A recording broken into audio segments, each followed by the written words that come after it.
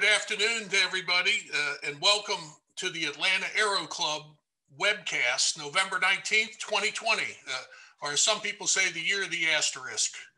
Uh, my name is Steve Champness, and I'm president of the Atlanta Aero Club, which is a regional chapter of the National Aeronautics Association based in Washington, D.C. We're one of six aero clubs across the country, and uh, we have been holding meetings in a in-person basis for 36 years.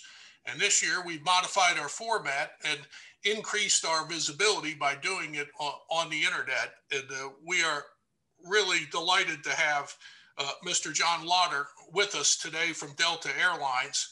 And uh, John, thank you for being here, sir. Well, it's a pleasure to be here. Thanks for having me, Steve.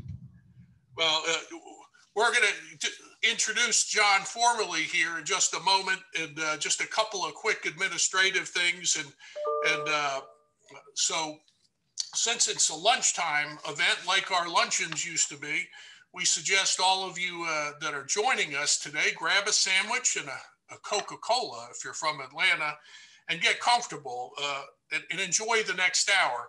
Uh, this is going to be a lot of fun, and uh, I think you'll you'll find that Delta is an amazing topic. I'd also like to point out uh, and give special thanks to our gold sponsor for this year, 2020, our sustaining gold sponsor, uh, Gulfstream Aerospace uh, Corporation, for making this program possible. Uh, and that's a company that all Georgians and all people in the United States can be very proud of the work and the aircraft that they're building that represent us all. I am also a publisher of the Avbuyer magazine, which is uh, directed towards the business aviation marketplace. And, uh, and I extend greetings to all the people that we do business with and those watching us uh, from the business aviation community. Uh, our guest speaker today is Mr. John Laughter, as I just mentioned. And uh, I'm going to read you his biography, and it's too much for me to remember. It's so impressive but uh, this will set the stage for what he has to say. And, and John, if you'll bear with me, uh, John Laughter is Senior Vice President and Chief of Operations of Delta Airlines. He leads the teams responsible for industry leading, safe, reliable operations across the globe with oversight of corporate safety, security, and compliance, flight operations, and technical operations as well. John directly oversees Delta Airlines' 12,000 plus pilots and its global flying operations support staff with more than 300 professionals who manage pilot staffing, training, and standards, technical support, and regulatory compliance. John is a longtime safety advocate and previously served as Delta's Senior Vice President Corporate Safety security and compliance. He directed the airline's overall safety, security, quality, and environmental performance and kept focused on Delta's top priority of safety first. A 27 year Delta veteran, John began his career as an aircraft liaison engineer and held various leadership positions within Delta and in the technical operations uh, interiors, engineering, aircraft acquisitions, materials and planning, and ultimately was appointed Senior Vice President, Technical Operations. Currently, John chairs the Georgia Tech Aerospace Engineering School Advisory Board and serves as a member of the Delta Flight Museum Board, Atlanta Habitat for Humanity Board, Georgia Tech Flying Club, which I also had the honor to be on with John for a period of time, and Board of Visitors of the Monast- Monastery of the Holy Spirit. John holds a bachelor's degree in aerospace engineering from the Georgia Institute of Technology, Georgia Tech, and an MBA from Emory University's Goizueta Business School. John and his wife Angela are the proud parents of four sons and reside in Atlanta, Georgia. So that's very impressive and it's a mouthful, but that sets the stage for uh, what John is going to share with us today. And John, I'm going to ask you, you've had an amazing career with Delta in 27 years. Can you tell us about your journey and uh, what you're seeing now and how things have changed over the course of your career? Well, absolutely. Again, Steve, thank you for having me, and uh, I appreciate the the warm introduction. Um, I did notice right as you started talking, sometimes it takes sitting here and staring at your your own video to realize that I've not reset the clock in my office. So please don't hold that against me. Um, that, starting off with a technical error in the background. Um, you, you know, I, I have been at Delta. I've been in Atlanta um, essentially my whole life and uh, been at Delta since straight out of Georgia Tech and um, have seen uh, a lot of different, I'll call it eras of the uh, aviation business. You know, you start building um, just just some some feel for the different ups and downs, and it's a humbling industry, as we all know. Um, and and we're in an interesting period now, and so. I, I, I, hope to share some of that with you maybe here in the beginning. I could just go through a few things uh, just about where Delta is at the moment. But I think, you know, the, the overarching theme is, um, is just, you know, the Delta customers and the Delta people um, are, are who we look to to get through these times. And I think you'll see that evident as we talk more this morning or, or this afternoon. Yeah, that sounds great. And, and we'd be delighted to hear your thoughts. Uh, you and I have talked earlier this week and, and, shared some ideas about this. And, and I know you have uh, uh, uh some video to share with us today and maybe some PowerPoint information. And, and you let me know when you'd like to get that started. Uh, what what do you for you? What has changed the most during your career as you've been going through Delta's ranks and all of these departments that you've moved through in operations and safety?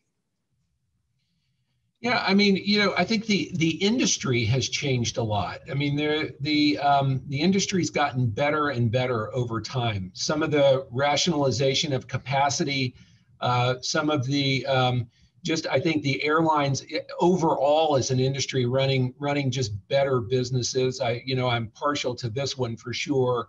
Uh, you know, coming into 2020, um, really at the top in almost every category uh, at Delta, whether it's operational performance or financial performance. Um, you know, it, it had been a, um, a pretty strong decade behind us. And, uh, and so, I mean, I think that's the, the biggest change is seeing how this industry continues to evolve going forward.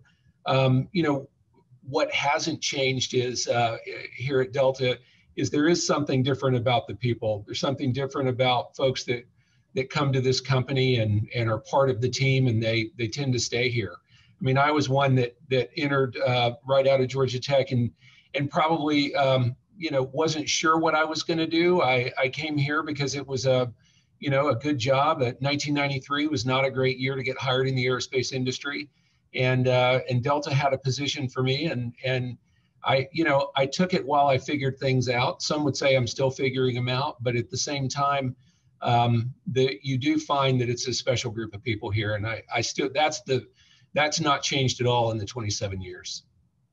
Well, uh, the uh, things that have happened to this industry, the airline industry, over the last eight months have never happened before in the history of this earth. There's never been airlines before, at least not when we had the last uh, pandemic. And uh, as a 35 year customer of Delta, that have, it is Delta has been a big part of my business life. Everyone I know flies the airlines on a regular basis. It's a very normal thing, and we've all gotten very not just comfortable flying on the airlines because we've been uh, reassured by the uh, convenience and pricing and safety and the high high standards and quality that Delta and, and all the airlines have. And I think the FAA is to be commended for the jobs that that they've done too to help make aerospace industry as safe as possible and so our society in America is the most air mobile society uh, in the in the history of the world as well. I hate to use that term over again, but it is. And so for all of us as Delta cu- customers, we have been going through withdrawal, if you will, from uh, not being able to interact with, with Delta, our airline partner here in the Southeast area. Uh, so, as this pandemic broke out for you in March, and uh, uh, I guess the end of February and March and April, what was it like at Delta in the, in the you know with Ed Bastian and you and the, and the management? How did you you know I mean it was incredulous that this was occurring. Did you really did you have a plan, uh, some sort of backup plan for something that's unimagined? You know, Steve, I, I, mentioned it. This industry is incredibly humbling, and and I felt like we had seen it all. You know, I I was here during 9/11. Uh, you, you, know, you you watched uh, the days after that where the where the air went silent. Uh, no one was flying.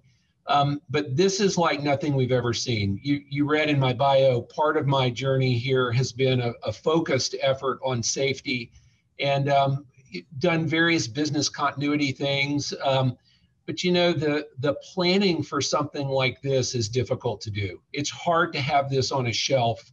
Um, you know, we have various scenarios planned out. What if this happens? This, you know, if you had a problem at this airport, this data center, you know, what if there was, you know, various national crisis uh, scenarios that you could think through. But if you start developing a scenario that says it's going to be a pandemic and it's going to take us down, you know, almost on day one, uh, 90%. Um, you, you, know, the planning for that is rough because it, there's just too many what ifs. I mean, is the government going to intervene? Is the, you know, is your, what is your credit outlook? How are you going to make sure that you've got the liquidity you need? And, and I'm speaking, you know, just generally here for the industry. I think I think this is a tough one to plan through. So it's um, those first few days. Um, you, you know, I, I, I think back about it and and laugh. Uh, you, you know, in January, uh, we were sort of looking back over 2019. Again, record performance in many categories. Ed went out and kicked off uh, the Consumer Electronics Show in Las Vegas. I mean, not a place where you would have said a few years prior, you will see the CEO of an airline come out and talk about innovation and advancement and the things they're going to do. I mean, so so Ed was uh, uh, fantastic there, and and we were having a meeting um, early in January where I got a group of people together to talk about what was going on in China. And I can remember the initial briefing sheet that that we put together just to talk about China and how you know we need to be prepared for various scenarios in China. And it was you know things about what are you what are we going to allow our crews to do? Or, or are we going to provide ppe for flight attendants? Things like that. You know delta obviously didn't fly to wuhan but you you know you just needed people to know that we're watching this we're engaged with the uh, you know the government health organizations. And those initial meetings uh, you know you were not focused on widespread pandemic. So then as it started to spread um, you know, things got serious uh, quickly and and you know looked at immediate impact and we started seeing changes to our bookings um, and it, I'll have a chart I'll show you in a minute. It's it's staggering to see how it fell off, how quickly. Um, but even in the beginning, Steve, you're looking at um, recovery, and you're talking about okay, so you know maybe end of summer you'll you'll be recovering. You know, you're thinking much quicker initially. And of course, that's an uneducated uh, estimate, you know, maybe a little bit of internal optimism. Um, but I have to give it to Ed. Ed, you know, started immediately preparing the company for a longer haul, and that that'll be something you'll see that that I mentioned today is, um, you know, this is this thing yeah, we all know. It, this is going to be a multi-year recovery. It's not when we get everyone's looking for 2021 and we're not going to get to 2021 and it's magically going to be better i think it will be improving and we've certainly had our share of good news with various vaccines and things like that so the outlook is still good yeah the, this past week uh, you know some game changers uh, that we discussed just briefly that have occurred in the last 10 days and that was uh, Pfizer vaccine announced over 90% effective, since revised to 95% effective. And then two days ago, three days ago, Moderna vaccine, 95% effective. And as part of the uh, warp speed uh, program, an aeronautical term, or Star Trek term maybe, uh, there is should be, if I understand it correctly, they've been producing this vaccine in conjunction with its testing so that if it was approved, it would be immediately available. So between those two companies, we might see uh, some uh, changing conditions and uh, very rapidly as early as the spring. And perhaps that would be uh, what we're hope, hoping for for Delta to be able and for people to be able to resume their normal travel habits and, and being around other people. It, maybe uh, it would be a good idea to show that video and then we could we could kind of come back to that and some of the things that you're pointing out if you wanted to to go there now. Yeah let, i think now's a good time to do that. Let's see if i technologically can make it happen. You can do um, it. yeah we'll we'll see. Uh, here we go. So it does start with a video steve. It's about three minutes and it'll give a nice overview and then then we'll come back from that and maybe i'll run through just a couple of slides and then we'll pick up our discussion that sounds good? good. Yep. Okay, here we go.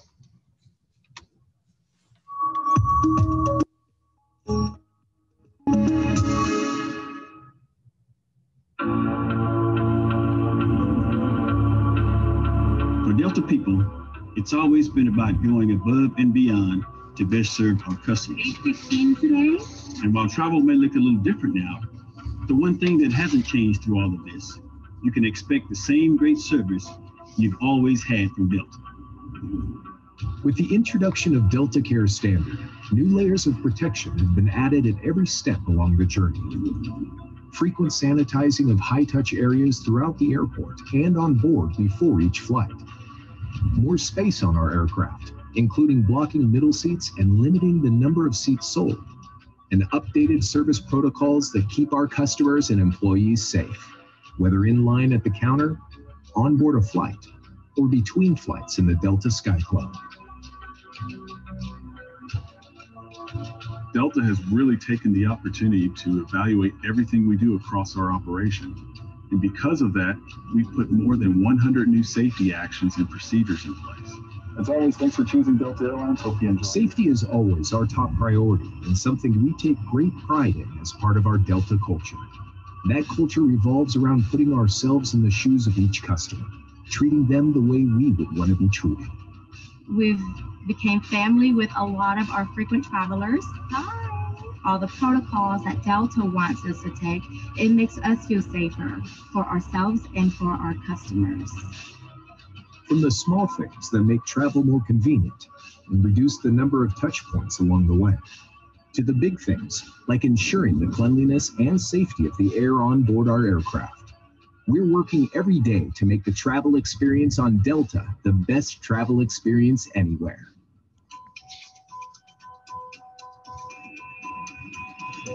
We're here every day to support our customers, but we're so grateful for the support and trust our customers have put into us. When you board our aircraft and you say thank you for being here today, it means the world to me. We are blocking middle seats, so there'll be no one sitting next to you, okay, Mr. Clark? One customer who contacted us, he and his family were supposed to attend a graduation, about six of them. And when he called, he told me he did not want a refund. He said, I want to find a way to apply the value of all six tickets to an employee fund. He literally had me in tears on the phone. How amazing is that? That our customers want to encourage us. With our customers in mind, every department at Delta is going the extra mile, ensuring those customers can continue to fly with confidence. Every day, every employee has their temperature checked, and we have partnered with the Mayo Clinic, CVS, and Quest Diagnostics to develop an effective employee testing program. The Delta Care Standard is our commitment to providing the best travel experience anywhere, not just in enhanced safety protocols, but in scheduling as well. We offer more flexibility when plans change, even making it possible to adjust itineraries on the Fly Delta app. At Delta, we're always committed to providing better and safer service for every customer on every flight. I'm looking forward to see those beautiful smiles on our Delta customers. Welcome aboard. We're so glad to see you and look forward to taking good care of you. Thank you for flying Delta. Thank you. Thank you. When you're ready to fly, We are here for you. We look forward to seeing you soon.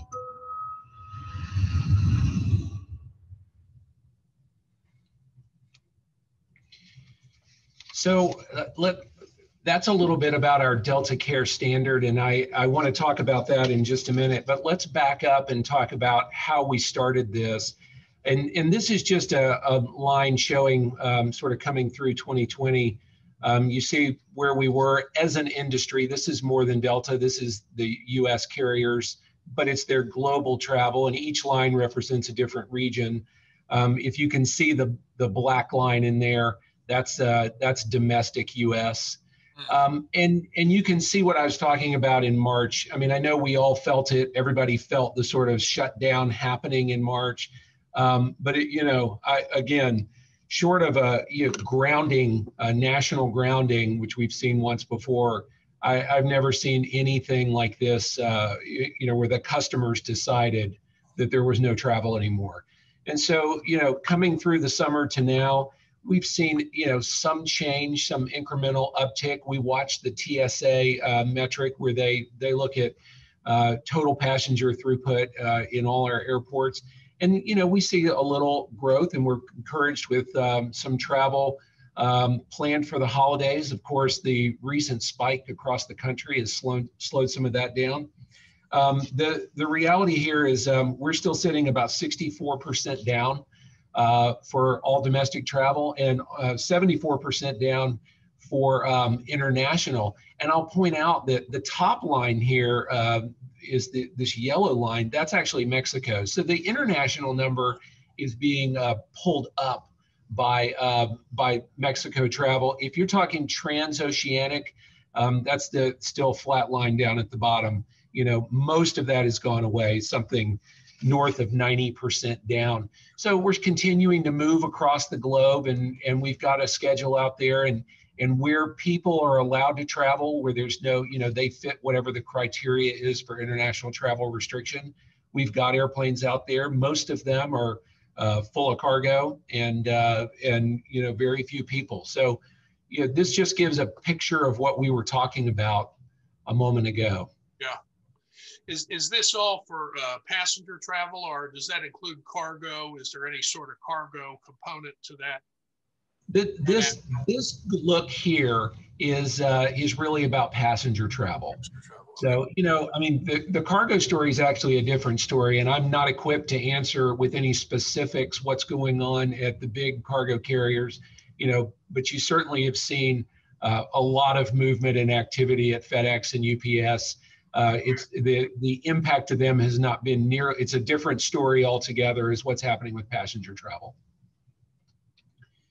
So as an industry, uh, you, you know, you think about kind of three streams of things happening here, and one is how we manage the virus, and then how you know how are we getting uh, traffic and, and revenue back, and then also cash burn. And I'll I'll start with that just for a second you know, from the very beginning, I mean, when you saw that line fall off, I mean, our our our costs of running a, an enterprise with this scale, you know, are significant. Significant capital investment, significant operating costs. You can turn off some things uh, quickly, but a lot of things that you can't. And so, a uh, lot of focus in the early days, and still today on managing cash burn. We're we're still looking at uh, somewhere out in the first quarter, I believe, to get to cash break even and then start returning to um, building some profitability into next year. And of course, a lot of that, we, we've done so much on the cost side, a lot of that does depend on the revenue returning. And, and of course, that's, that's dependent on when our customers say they're ready to come back, which is what we're working on right now. And kind of the theme of what I talk about here is that our ultimately our customers will decide and we can listen to them and prepare best we can for when they'll be ready to travel.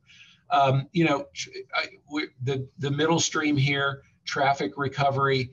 Um, you know, we have as this thing has evolved. Again, I, I mentioned we look at the TSA sort of total throughput every day. We know what our corporate customers are doing. We're well in touch with them, and and you know, while most of them have come back to uh, engaged and they have some people flying, they are nowhere near flying uh, in in large numbers yet. And and and I think many of you that probably applies for where you work. Uh, certainly, a lot of big Atlanta companies that I I'm in close contact with, they do have people flying on an as needed basis, but they're they're not looking till next year till people start flying uh, uh, on a, a, you know a broad base again. Um, we have been closely matching our capacity with demand. So you know we we can't maintain the footprint that we've had before. We're probably operating around 50% of the operations that we previously did or we did in 2019. Um, and so, you know, that's that's the base from where we start building this thing back as it comes back and then and then finally uh, containing the virus how we think about the virus and you know you on the one hand what can what can delta do about it but on the other hand you know we've got a, a 75000 employee workforce that we uh, we've we've implemented a testing program with and and we are identifying people uh, before they get you know in close contact with other employees and customers and and making sure that they're taking care of their health um, and then also the things that we're doing to prevent spread of the virus um, on board the aircraft. The, the main thing when we think about recovery is it's multi-year and it's likely to be choppy. As we were coming through this summer, it really started to look like a pretty consistent build. And then you get setbacks, you know, you, you go through a, a, some kind of an increased wave or certain states start picking up again in virus spread. And uh, and then we take a little turn down. So you know it's two steps forward and one step back. And and we'll just keep working through that as this thing comes back. But i think everybody should expect it'll it'll be a little bit choppy so you, the video was all about the uh, the the um, the new standard at delta and what we're doing to take care of people I, I might just start by reminding you pre-covid and for since the beginning of time um, the purchase drivers for people, why they're choosing is price and schedule. So they choose a flight or an airline or make a decision to go based on does the airline have uh, the, the ticket when they want to go and do they have it at the right price? During this pandemic, the top two purchase drivers are what is the social distancing situation and what is the clean situation on the aircraft? Is the airplane going to be healthy from a customer perspective. And so that's where we have taken uh, uh, great care and partnered with uh, you know lots of smart people out there, including the Mayo Clinic and Emory University, uh, Lysol and Purell. So people who are experts in the pandemic, people who are experts in disinfection and cleanliness, and we have put together uh, a program that is like anything in aviation, any safety related program is a series of safety layers. It's never one thing. And so uh, we've got a pretty good program here that really uh, focuses on it's, you know, it's all the things that you know. We, we've got the middle seat blocked and we're going to continue that. I think we just announced that that will be through March. Um, and and I suspect that um, you, you, know I will have to reevaluate it and see if it if it ends in in March. But our customers will tell us. They'll tell us when it's time to do that, uh, when they're comfortable being that close to other people. You've you've heard a lot about Delta's mask policy. We require wearing a mask, and um, I think you know I've seen varying data, but having a mask on re- reduces the transmission uh, of this virus significantly. That's another layer all the cleaning exercise. There's a you know a picture down here of the um, of the uh, the the fogging product that we use uh, on our aircraft, and that is doing a you know a great job of of going beyond just what we can wipe down in the airplane, but what you know getting into every uh, crack and crevice um, to make sure that we're we're maintaining a much higher level of standard. We've built an organization that is focused on global cleanliness. And this is not you know if you're if you're thinking wow you're doing a lot for this pandemic and it you know it may be choppy but it's going to be gone. I think it's a new um, it's a new expectation of our customers. And so we're building this global clean organization for the long haul and uh, and so that's for covid but that's for beyond covid i don't i don't think when covid is gone people are suddenly not going to care about uh, cleanliness anymore. And and you know there'll be another um, another virus in the future, and we've got to be ready for that. So uh, the team is doing a nice job. I mentioned testing of Delta employees. Um, you know, the I think one of the first, if not the the only um, widespread all employee testing program. It's voluntary, by the way, and uh, and the take rate is um, extremely high.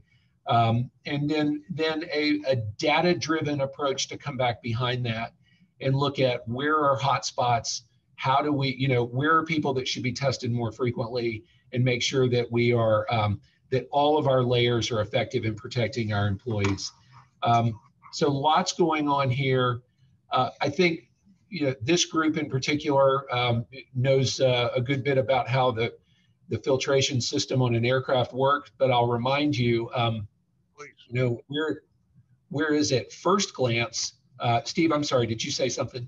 No, I, I uh, said please. Yeah, I yeah. know this filtration system is amazing. It, it is. And, you know, I think at first glance, people are like, oh my gosh, I, I don't want to be trapped in the tube. What if someone in there is sick? Then we're all going to get sick. The reality is, is the way a uh, pressurized aircraft works is um, it's pretty good. It, it actually, you know, forced air in from the outside it flows vertically, so it's not, you know, blowing nose to tail. It's blowing straight down and then out the sidewalls. And the beauty of it is about every three minutes, the, the whole cabin air turns over. And so, um, you know, and it's HEPA filtered and things like that. So the, the truth is, is that compared to a, a, building or a facility, which have, you know, obviously modern buildings have uh, very sophisticated filtration systems, but none of them are turning over the air every three minutes. And so um, it's an advantage that we have here, um, and and one that I think that there've been various organizations. There's a, uh, a Harvard study out. Um, there's a um, uh, you know what what we've done with uh, Airlines for America in making sure that people know that this is how these systems work. So we're taking credit for it here, calling it Delta's state of the art system. Yeah, I, I guess the other airlines have this too, but uh, you know, it's um, I think very important for people to know. I, I don't have any concern, you know, when you think about is now a good time for me to travel? I say it all depends on where you're going. You know, the travel is down right now, and I think we've we've done a good job at convincing our customers that the airplane is not the problem. So the the conference that you were going to may not be happening, so you don't have a reason to go but just where you're trying to go, whether it's for for business or for pleasure, maybe that's not quite ready for you. Uh, it, that'll be up to you, and again, our customers will decide. I mentioned it; masks are mandatory, uh, and you may have heard, uh, you know, if you don't wear a mask uh, at Delta, and and and I don't mean you, it was an accident, you forgot, we'll we'll provide one for you, or if it you re, you removed it and forgot to put it back on, as long as you're complying with our flight attendants, we'll help you remember um, but we've had some people that, as a matter of making a statement, have told us they're not wearing one. And uh, so, you know, we we can't we can't fly you if you're not going to wear it. We tell you up front, and it's part of the deal now. It's the layers of protection, and it's what everyone around you is expecting on board the aircraft. So it's a commitment that we've made. Uh, maybe just a, a, another minute or two here, Steve, and I'll I'll stop talking. But uh, the um, you know a, a, couple of good things that are going on. Um, you know, on the fleet, uh, we've got a lot of fleet renewal happening, and uh, and I'll talk about that first. Starting on the left, we we did take this opportunity to accelerate some simplification. So if if anyone's flown Delta out of Atlanta much, I know you've been on an MD-88, and you know that has its root in the, roots in the DC-9, and it's uh, just quite a success story. It's been the workhorse of the domestic fleet for Delta, and it was on its way to retirement and given the pandemic, it was time to just accelerate it. So went ahead and, and accelerated that retirement this summer. Maybe a little more surprising to some is uh, the acceleration of the retirement of our 18 777 aircraft. Um, you know what a what an amazing international capable machine. Uh, just a, a, beautiful work of art. Um, it's called a pilot's airplane. It's got lots of power, um, and people love to fly it. Um, but there's some overlap there with the new um, the new A350 to Delta's fleet, and uh, there was a this was just an opportunity and a time that we needed to uh, simplify and consolidate. So that's a couple of, of big changes in our fleet. But but right behind it is new, and and just this week we launched our first A220-300. Uh, that's a um, you know a, at the smaller end of our aircraft scale, but one that our customers love, and it offers a 25% efficiency uh, on a per seat basis um, to flying. And so, sort of uh, good things to come as that fleet continues to grow. We we're have we're uh, of course, have been flying the A220-100 for a while now, and this was the first 300, so very exciting. We also accelerated, and I, I won't go through all the details, but we've taken this time, even in the midst of cash preservation and all the things that you might think we need to slow down. We had a number of significant airport projects going on across the system. And you know, those projects are often really challenging um, if you're trying to do them while you're running an operation on the scale that we do. And so you we saw a real opportunity as the as the airline scale was dropped down to not only keep working on them but accelerate them. And so we have recently opened a new terminal in Salt Lake City. I think it's the first major hub airport opening in the last 20 years, and uh, it's a beautiful facility with our new largest sky club in the whole system. Um, and then we've also got significant projects in other cities, Los Angeles, New York, et cetera. So just a lot of um, a lot of good stuff continuing to happen. Um, and I'll just end with this is some surveying um, that the that the industry is doing just to see. And you know, the three different bars here was an April survey, a June survey, and a September survey. So it's basically when do you want to fly? And uh, and the good news is is that about 80% of people are saying sometime out in the spring they feel like they're ready to fly, and uh, and so you know our goal is to be ready for them. What are those things that are important to our customers, and uh, and and what um, can we do to make sure that we're executing on that, keeping our commitment, and being ready for them? So I think with that we can. Um, we can I, that's all i wanted to talk about. So let's talk about what you want to talk about. Well, that's, that's that's a lot to talk about right there john.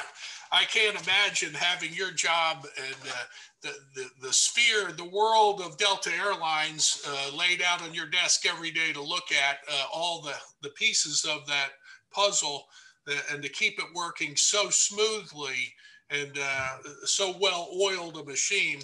I was uh, I, I encourage anybody that's interested in Delta Airlines to do what I did, which is to cheat and to Wikipedia search Delta Airlines because there's 32 pages of information that, uh, and it's really a college course. If you uh, wanted to teach this, it's, it goes through the entire history of Delta and it also talks about the scale, the size of, of what we're talking about that John has to deal with. And, and the, the opening lines of the Wikipedia say, uh, to give you an idea, this probably is a lot of pre pandemic information, John, but it, it, says it was updated in October.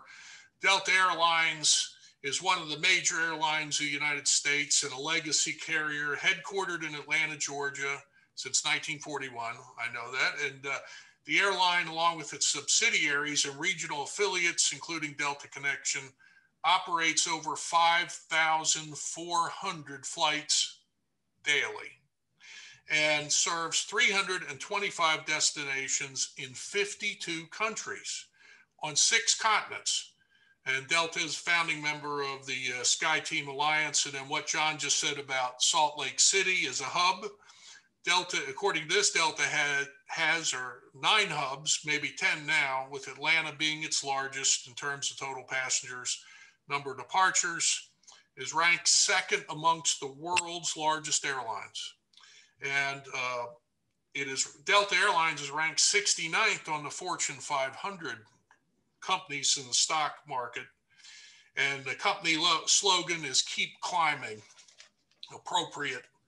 Uh, John, when we go back to the fleet for just a minute, uh, something that, that uh, I found out as I was researching a little bit of Delta's history and I, I, I was thinking that Delta Cargo might be, you know, something that's evolving during this pandemic as a as an area of need. And, and I ran across a book which you might be familiar with, and, and those uh, watching this. This is the book of Delta that was written in 1990. You might have this book. You probably do. And, do. and uh, it is really good. Uh, written by R.E.G. Davies, Davis, and uh, it is an illustrated guide to Delta. And, and I think it was it would be fun to point out that although everybody knows that Delta's uh, fleet is made up of Airbus, Boeing, and Douglas aircraft, uh, th- there actually is some aircraft that Delta operated that were built here in Georgia, and one of which was the Lockheed C-130. A lot of people don't know Delta flew C-130s, and I can prove it. Actually, this is a uh, a picture of the of the Delta Airlines C-130 or L-100, and it turns out that Delta had an air freight specially specialist side of the business and operated C-46s, the old commandos they got from China, and C-130s, and some other interesting aircraft. Uh, and if you look in that book, you'll see a lot of amazing uh, aircraft, dozens and dozens of types and models and makes. And it's come a long way from the, the world's first uh, aerial crop dusting company. Uh, actually, a lot of people, my friends that work at Delta say it was founded in Monroe, Louisiana. And according to the, to, to Wikipedia, it was actually founded in Albany, Georgia as a crop dusting company, went to Monroe and came back to Atlanta. So out of 760 aircraft, according to Wikipedia, do you still have about, how many do you have operating now? Is that information you care to share or is it yeah, I mean, I, I I wouldn't want to be quoted on the exact number because there is a lot of in there are a lot of ins and outs right now, but it is something approaching 800 aircraft. Um, I'll tell you, I knew about the L100 from the same book. I had no idea until I saw that book, and I I did want to mention, but I I didn't think I'd get a chance to. Also in that book is the DC-7. There'll be a a, a picture of the DC-7 in there, and something that was going on here pre-pandemic uh, is the Delta Museum, which I'm sure some of you have, have been to. Uh, the museum purchased a previously Delta operated DC 7, which our technical operation divisions, even during COVID, using uh, a lot of volunteer time, uh, just finished painting. It was actually sitting over at E-Concourse yesterday. So looking out my window, seeing a DC 7 sitting at the Atlanta airport was pretty cool. And I'm sure we'll see if we can get a picture out to you. Well, we, the, the, we've been to the uh, museum, the Delta Museum, and those that are in Atlanta watching this, this is, uh, I believe, the one of the original Delta hangars that was, or it one is. of the original airport hangars from Hartsfield uh, Airport uh, before it expanded so dramatically. And it's a very old hangar, but it, it's got an airplane in there, a special airplane as well on display. You want to tell us about that is it a 767 that's in there? It is. The the the uh, ship 102 is a 767 200, and it's called the Spirit of Delta. Um, and and you know I I started talking about the you know the people that make all this uh, look easy are the Delta people and sort of just the the culture we have here of taking care of each other. And there was a time uh, in the early 80s where you know another bad financial moment. Um, and Delta employees bought that airplane and gave it to the company. It's uh, it's it's really a cool thing. And and so when that airplane reached the end of its life, we were able to put it in the museum um, so that you know the next generation can see it and see what that contribution was to the company. It's a it's something worth coming and seeing if you hadn't seen it before. Well, uh, as being a long-time Delta customer, and there's a many other people out there that are million milers and have flown even you know many more years than me. And the corporate culture of Delta as a passenger has always been extremely helpful and uh, tre- tremendously uh, over the top to go out of the way to help uh, people with, with special needs and any of the issues that you might have while you're traveling uh, that encounter happened to us on one trip when when uh, my companion Nancy fainted, and uh, the Delta staff swarmed around. We had medics, we had everybody, and then they got us to the gate. We actually made the flight, and uh, it was only due to the fact that the Delta employees have the spirit of can do and will do and the total capability and you empower your employees to be able to make decisions without having you know to, to bump it up five levels to get even you know something resolved. So that that happened to us. Question a little bit shifting gears uh, for you uh, john since i'm in the corporate aviation world a little bit with uh, Avbuyer magazine uh, one of the companies we deal with is called wheels up. And did i remember when we had talked to richard anderson years ago he came to a luncheon with uh, Randy Babbitt, who was head of the FAA at the Atlanta Aero Club. And uh, they were sitting together, and, and, our thought was, you know, maybe something good will happen if we have uh, Richard Anderson and the head of the FAA sitting together. Then that, that opens up that line of communication or that friendship. So if there's ever an issue, maybe you get a phone call instead of a letter. And uh, so uh, the point is, is that uh, uh, Delta Airlines had uh, executive jets at one time, an executive jet division. And, and Richard told me, uh, and he said that he went up to Peachtree Airport and he would catch the executive jets. But you recently sold that. Is that right to Wheels Up? Or are you still involved in that business? Well, we're we're actually a minority partner in that business, and uh, so yes, Delta Private Jets was our our um, a subsidiary of Delta Airlines that that operated uh, a, a managed fleet of of jet aircraft, and um, and and so the opportunity to partner with a great brand and company like Wheels Up um, became, became a natural fit, and so the two companies put together, and I think they're around 300 total aircraft uh, in their fleet. And uh, it's just you know it's been a really good match. That happened i believe in the beginning of this year Right. And, and so you are still uh, involved in that business to a degree, uh, maybe as a partner with Wheels Up and operate those aircraft.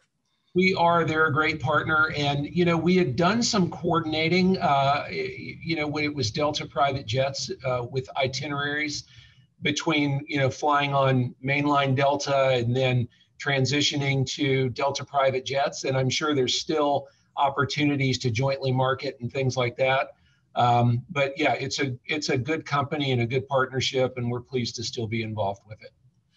There's another division of uh, Delta Airlines that when I was refreshing myself, and and I, I am guilty of thinking I knew a lot about Delta Airlines prior to our conversation and uh, today. And I was going through and I realized that when they were talking about Delta Technical Ops, this this uh, amazing uh, maintenance and repair and overhaul facility that's located in Atlanta. I didn't realize it was the biggest MRO in North America. It, how is that doing during all of this? We we know that the engine shop is just state of the art, and these engines are so massive they won't fit under tunnels and trains and, and uh, under underpasses. They have to be flown or floated in many cases to uh, get repaired. Yeah, I mean, I, am glad you already know that Delta Tech Ops is um, an amazing business, and uh, you know that it's near and dear to my heart. It's where I spent my first 20 years, and uh, and you know, early on there was a thought that we're pretty good at this. We could do this for a lot of people, not just Delta, and um, it's been amazing to watch it grow and and I'll, I'll I have to give them full credit. It has done just absolutely the most growth and and the most advancement uh, since I've been gone. And I I, I um, left that division seven years ago, and in that time, um, they entered uh, into the state of the art uh, Rolls Royce and Pratt and Whitney uh, power plants, built engine shops that that could not only build those, but built the largest test cell in the world that could test those engines. We have a test cell um, over at TechOps now that can handle an engine up to 150,000 pounds of thrust. That doesn't even exist, but we're ready for it. When there is a 150,000 pound engine, uh, Delta TechOps will, will test it. So their their business is um, just incredible. Very proud of that team and what they've accomplished. I'm, I'm just uh, I'm in awe of them. Um, and and you know, I think that the the global aviation business is down, and people have taken a lot of the cash preservation um, uh, opportunities that we have, and so they're not immune to that impact. But they've got a core base of customers that continue to march on, and then the partnerships with uh, Rolls Royce and Pratt and Whitney continue to deliver. Um, and so their business is actually doing very well. That that's an area that uh, is, you know, it's certainly not as um, it's not taken down as far as what the rest of the airline has done, and they're coming back faster, I believe. So, great, great business there. Well, you know, we saw the pictures, and we had a speaker from uh, Delta Tech Ops about a year ago, and he came and told us and showed us some pictures at the Aero Club and, and, and uh, gave us some statistics and and uh, these uh, these engines are, are massive and and uh, I think he said you did overhauled not only all of Delta Airlines internal engines from the fleet, but you're also taking in outside work and uh, doing up to a, maybe close to a thousand engines in a year, which is amazing. Yeah, absolutely. It is uh, it is far bigger than Delta Airlines work over there, and as you said, the largest airline MRO in North America. So, um, it's a it's a just a very impressive business. So uh, yesterday, day before, Delta, or it's not Delta, but Boeing uh, Aircraft Company, which has a long and uh, very proud history in, in America, and a, and a very key player for Delta with the incredible fleet like Delta had, the Douglas fleet, the, the Boeing fleet, and now the evolution of the Air, Airbus fleet. All of these are wonderful aircraft. And, and uh, they announced the, uh, actually an old Delta guy, Steve Dickson, who's now head of the FAA and a former F, uh, Aero Club speaker. He uh, evidently they have certified the 737 MAX, which for those watching that may not be familiar with that, 737 is the most produced aircraft type in the history of aviation. Uh, and uh, so the 737 MAX was simply the latest mark or model of that with some, some, some changes in artificial intelligence, AI, if you will. And so uh, did you see that? And what, does that uh, you know you have a lot of 737s in your fleet. Are you still operating those? We are. So let me clarify. Delta does not operate the max. Okay. so we have we have avoided uh, all the impact at delta of the max. And uh, and but but i have to tell you you know i've had multiple people call me and say you were geniuses not to buy the max. I, it, it wasn't genius at all. It just worked out that way uh, the Max is a great aircraft. It's you know you you mentioned the 737 and the legacy of the 737 has just been incredible, and the fact that they can even take it to the next level with the Max is uh, is impressive. And hats off to Boeing for that. I mean, the the Max getting ungrounded is outstanding news. Um, you know, I I I'm I'm glad for that. I'm glad for the industry. Um, and and I'm glad because I know um, you, you, know and used to work closely with the the person who's running the FAA now, and I know um, sort of the way his uh, his uh, safety background is and his thought processes work. I think everybody should have full confidence in the Max. And you know, just to remind everybody, there's it was a technical issue that they were trying to solve, and as I talked about layers of safety and redundancy, it's never one thing it's a technical issue, and but but it, was also a training issue. And so if you know if you if you had a technical problem, you've got to make sure you've got the training so that the pilots are ready to deal with what that uh, issue is. You know, I, I would say it's not one thing, and and so of course they fixed it all. Uh, they fixed all the elements of it, and we're back to the appropriate redundant layers of safety. So uh, yeah, it, I, I was pleased to see that. It, and it's time. It's, you know, I think it's been 20 months. Uh, I may be wrong about that, but it seems like it's been a while. Well, it's, it's great news for the United States aerospace industry and great news for the aviation industry overall with uh, all of the Boeing employees being uh, getting that cheerful news. And I think it will feel the same way when this vaccine comes out and people are uh, returning to Delta in the numbers that uh, will bring you back to where you were. Delta Airlines Simulator Training Division, uh, and some of our members include Winston Whit- Whitlock, Hend- Hendricks Edgerton, Captain Hendricks Edgerton, and, and, and others. And, and, I know that Delta's uh, training facilities and training division is second to none. It is state of the art, top notch. And you do uh, some of the most uh, robust training in house for Delta. Uh, and is that still ongoing in, in, in the, the Atlanta area?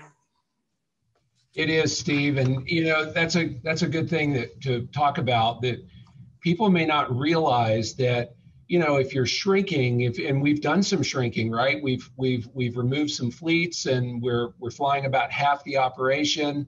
Uh, you would think, well, training's probably way down, and we did close the training center for for a few weeks. Uh, at the beginning of the pandemic while we, we needed to make sure we had the right protocols in place to safely train.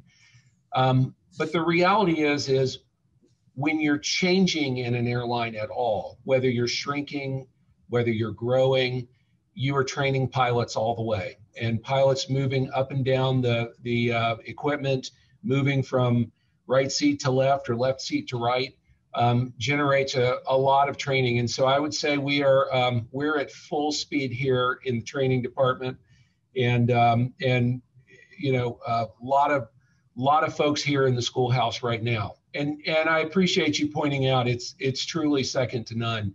Um, one thing we didn't talk about in my intro is um, I'm not a Delta pilot. I, I'm a commercial pilot. I have a license and done a lot of um, you know, general aviation flying in my life, mostly in um, small tail draggers, um, mostly off of grass, very forgiving for my landings. Um, but I did have a chance uh, a, couple of years ago to go through a, a real Delta pilot training program. And I went through the 777 program, happened to be, that was the one that was available. And, uh, and I, I can tell you with, with authority firsthand, it is second to none just the absolute best instructors, best program, best equipment. Um, and, and it's what I wanted to experience. I wanted to see what our pilots go through when they come through here and um, just outstanding, outstanding folks in there making that happen. Well, I, I am so pleased to hear you're a general aviation pilot like like myself. And, and on my lapel here, I proudly wear uh, my AOPA uh, pin 30 years pin and uh, our friends mark baker and the rest up in frederick maryland are looking out for our rights as uh, private pilots and, uh, and, and we're all in the same family. And uh, the airline family and the, the, the general aviation family we're all in this together the military aviation family. And and there's also another group that I, would like to talk about, as I can't believe we're, we're getting close to the to the end of the hour here, and that is the tremendous uh, uh, university system in Georgia and in the southeast that supports the aviation uh, career uh, programs. And one of one you mentioned, we both know Georgia Tech has a robust uh, aeronautical sciences uh, program that you're a graduate of, and then uh, uh, Christopher Blake at the at the Middle Georgia State University system, which is rapidly growing, expanding, has a phenomenal campus in Eastman, Georgia, that uh, is being run by Adon Clark, Dean Adon Clark over there, and he's doing a great job bringing up new people into the into the system. Uh, and of course, you and I have uh, some common friends, Derek Dennis of uh, ATP, the Airline Transport Professional Company, that is the largest uh, aircraft or pilot training company in the United States, maybe in the world, with over 40 locations. And hats off to ATP, hats off to, to Georgia Tech, and hats off to Middle Georgia State University. And uh, are, are, is Delta involved with any uh, keeping in touch with those? Do you have a program to, to work with them? We, we do, Steve. And Delta actually started um, in 2018 a program called Propel. And it had a couple of different avenues. You know, one was uh, to help people within in Delta get into the cockpit. And so you have people across the company. I mean, when I started here 27 years ago, I did think about flying and being an airline pilot. That's what I wanted to do when I came here. And so um, we didn't have that program then, but we have it now, and it's a structured pathway to get there. The other thing is through our partnerships with universities, and we've got uh, eight different universities that we uh, we partnered with initially, and that continues to expand. Um, you mentioned one of those is Middle Georgia State, and uh, that's that's one of the initial ones that we've been working with, and it gives a structured pathway to go from not flying at all to how can I get in the Delta cockpit and uh, and you know it's just it's through partnerships like that and just the the great work that people are doing you know um, like Middle Georgia State to help us train the next generation of pilots um, in partnership with Delta is uh, is going to be what the future is about. We have to remember that there's a shortage of pilots coming, right? And though we don't feel it sitting here right now, um, this will be behind us uh, in in due time, and we've got to get back to the business of encouraging people to go into flying, to go into aerospace in general. And I, I would thank you for all the work that you guys are doing to encourage that. What can we do at the Atlanta Aero Club to help our friends at Delta, and especially all of the employees that are affected by this this pandemic? Tell us what we can do, and we would like to assist any way we can. Well, well, thank you, Steve. That's a great offer. Uh, you know, I would say I walked you through how we're listening to the customers and what we're doing to make sure that the Delta Airlines and airport portion of your journey is safe and that's not something that's going to go away you know when we, we think this virus is behind us. That's going to be part of who we are. And i would say that you share that with your friends. When wherever they're going is uh, is safe and ready for you we're going to be standing here ready for you. The delta people are going to be ready to take care of you. And we appreciate all the support that we've gotten along the way we'll be past this soon john and uh, and we all look forward to that. And one of the things I look forward to the most is being able to travel on Delta Airlines and uh, see my colleagues and friends and family again. And I will be back out there as soon as I can.